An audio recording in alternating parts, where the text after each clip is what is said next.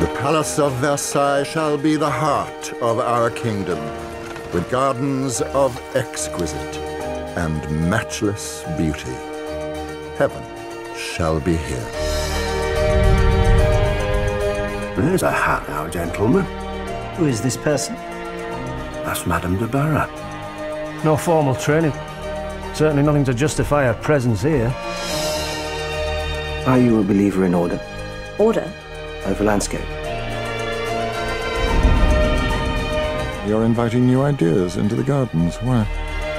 Welcome to Versailles. Why me? I watched you in my garden. I was curious. I've been issued an invitation to the Louvre. See how they look at you? Give me a kiss instantly, or I shall take grave offense. I am no one. What could the interest be? You are no one where everybody is someone. Show us your breasts. Are they pretty? Would you like to see mine? I'm unused to all this. You must adapt like a well-trained plant. Madame de Barra has certainly thrilled Andre here.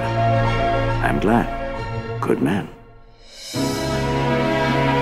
Your wife does not accompany you ever? No. She dictates how we live now.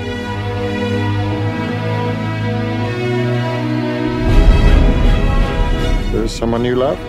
He is the most complete person I know. You were with that woman? A builder? I'm a builder, madame. So be it. We can flood the garden. Do it. In the end, we have only our instincts. And although the elements may treat us cruelly, patience, care, and a little warmth from the sun are our best hope.